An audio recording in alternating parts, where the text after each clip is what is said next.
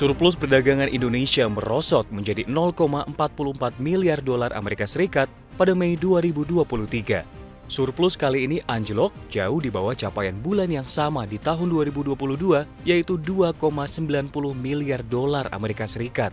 Catatan pada Mei tahun ini juga di bawah konsensus pasar surplus 3,02 miliar dolar Amerika Serikat. Kinerja surplus dagang Indonesia pada Mei sekaligus menjadi yang terkecil sejak April 2020 di tengah lonjakan impor.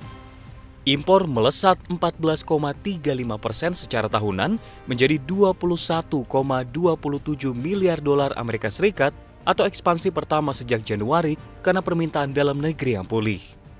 Di sisi lain, ekspor juga secara tak terduga naik namun tipis hanya 0,93 persen year on year menjadi 21,72 miliar dolar Amerika Serikat.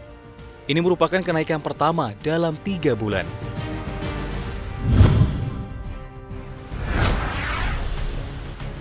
Bank Indonesia melaporkan utang luar negeri alias ULN Indonesia pada akhir April 2023 sebesar 403,1 miliar dolar Amerika Serikat.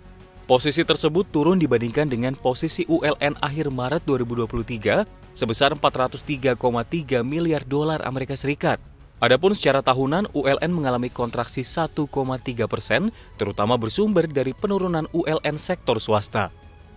Kontraksi terdalam pertumbuhan ULN dialami oleh perusahaan bukan lembaga keuangan dan lembaga keuangan masing-masing minus 4,7 persen dan 3,9 persen year on year lantaran adanya penempatan investasi portofolio di pasar surat berharga negara atau SBN domestik seiring dengan sentimen positif pelaku pasar global yang tetap terjaga.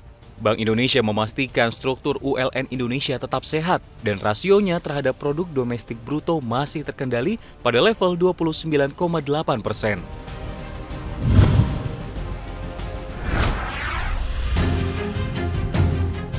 Gabungan Industri Kendaraan Bermotor Indonesia atau Gaikindo melaporkan penjualan mobil dari pabrik ke dealer alias wholesales di pasar domestik sebesar 82.097 unit pada Mei 2023. Jumlah tersebut lebih tinggi 39,46 persen dibandingkan pada bulan sebelumnya yang hanya 58.911 unit. Total penjualan selama 5 bulan awal 2023 mencapai 423.404 unit. Toyota, dan Lexus menjadi raja dengan angka penjualan 28.528 unit, disusul Daihatsu menempati posisi kedua dengan penjualan 16.909 unit.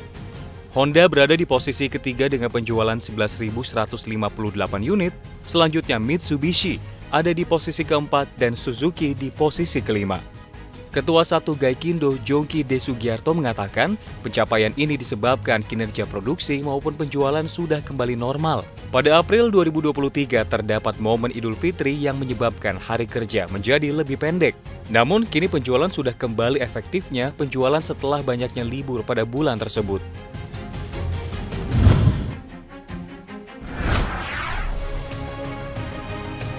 Ekonomi Cina semakin nyata bergerak di jalur lambat.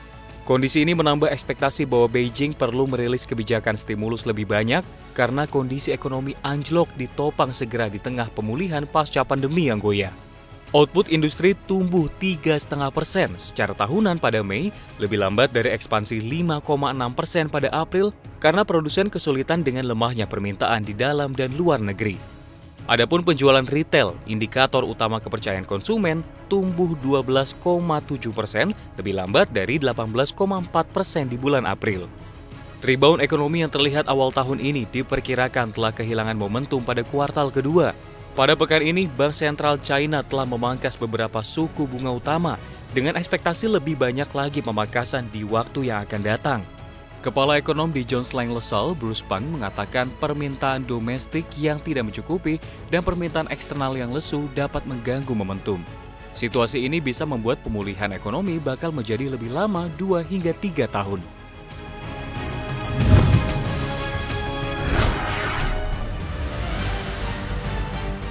Suku bunga sentral Amerika Serikat, The Federal Reserve atau The Fed tak berubah untuk Juni 2023. The Fed menahan suku bunga acuan di level 5 hingga 5,25 persen.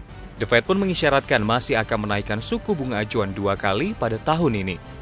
Dengan kata lain, harapan pasar untuk melihat peluang pemangkasan suku bunga dalam waktu dekat harus dikubur dalam-dalam. Gubernur The Fed Jerome Powell menilai kebijakan suku bunga selama ini belum terasa efeknya. Powell pun menargetkan inflasi ditekan ke kisaran 2 persen, di mana pada Mei 2023 inflasi masih dua kali lipatnya atau 4 persen secara year on year. The Fed juga menargetkan angka pengangguran ke kisaran 4,1 hingga 4,4 persen. Namun, Powell menjelaskan suku bunga saat ini mendekati target puncaknya sehingga kenaikan ke depan bisa semakin lambat.